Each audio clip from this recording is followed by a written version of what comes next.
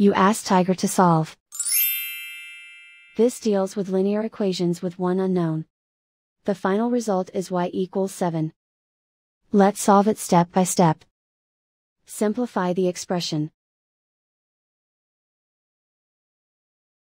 And so the final result is y equals 7.